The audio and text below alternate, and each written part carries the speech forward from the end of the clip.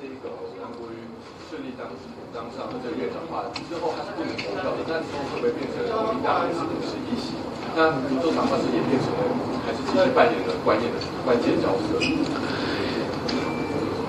国会不论未来如何发展，我们会尊重民众党，并且在各方面我们都有最大的善意来堆叠以及沟通，务必让民众党有非常多的改革的法案以及福国利民的相关的政策推动的时候，我们一起协商，一起支持，让很多很多。要积极来进行的这些法案都能够确实的落实，好，那不论是啊，目前是国民党第一大党，如果韩国瑜先生顺利当选中华民国第十一届立法院的院长，我们依然依然会用最大的善意跟诚意